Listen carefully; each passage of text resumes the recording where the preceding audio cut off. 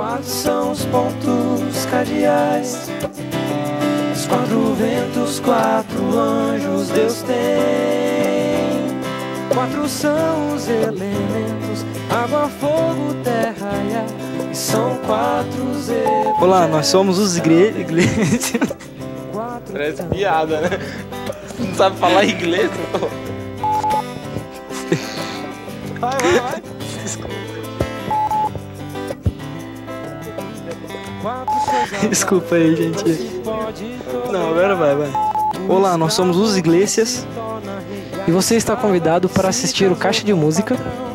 De segunda a quinta, às seis da tarde. Não perca. e quem come tudo.